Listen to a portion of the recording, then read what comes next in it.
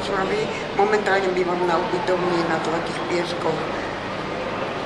Čo tu robíte dneska? Ste na železničnej stanici?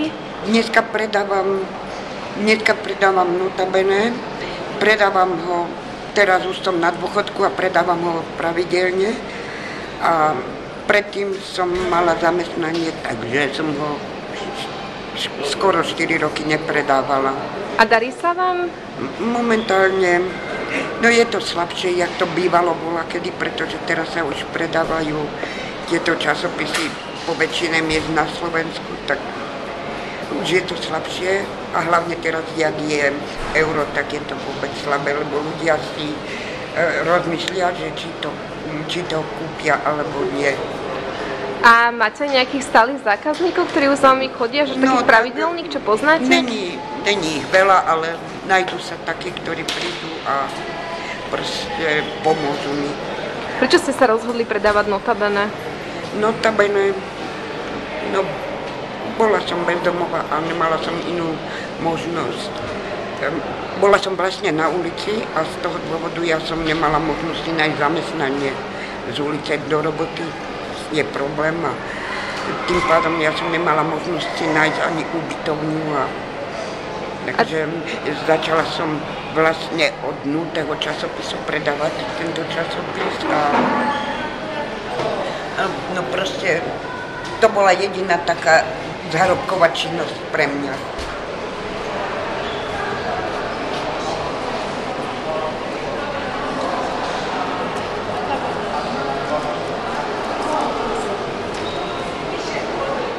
Sa Mária, som z Accenture a v rámci nášho mesta som sa rozhodla predávať notabene. A prečo ste sa rozhodla pre túto aktivitu?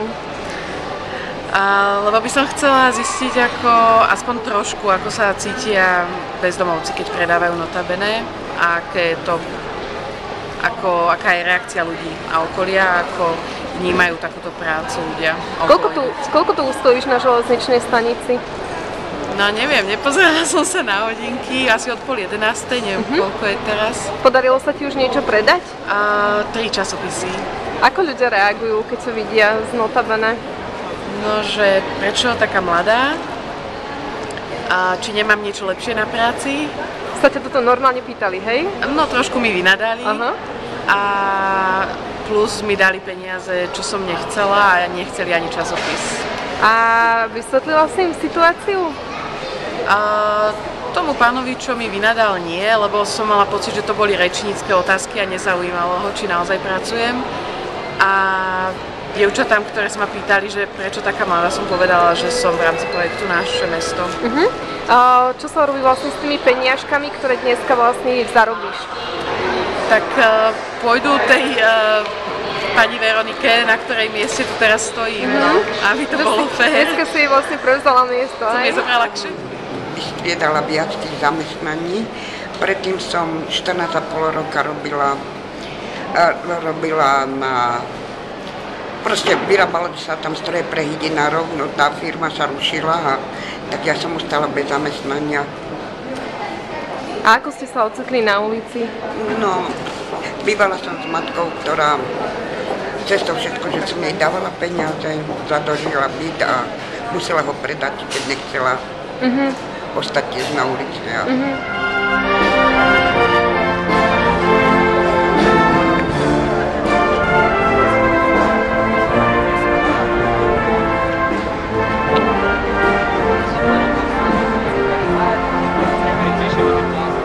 Som Peterson Zaxa a v rámci dnešného dňa pomáham Združeniu proti prúdu a pri predaji časopisu Nota Bene okolo idúcim pred prezidentským palácom. Prečo si sa rozhodol pre predaj notabene? Je to dosť náročná aktivita. A je to veľmi náročné s veľmi nízkou úspešnosťou, pokiaľ človek naozaj len pasívne stojí a nerobí nič. A vidí tie reakcie ľudí, že dá sa človek obísť o 10 krokov väčším oblúkom, než by bolo a pravdepodobne dokonca na takej mačacej dlažbe. Napriek tomu vidím, že tu je dneska nejaká akcia. Pred prezidentským palácom je strašne veľa ľudí. Je to úžasné strategické miesto. Ako, čím sa to vysvetľuješ? a že bez akéhokoľvek kroku aktívneho hej, je to vlastne niečo, čo tí ľudia vidia stále.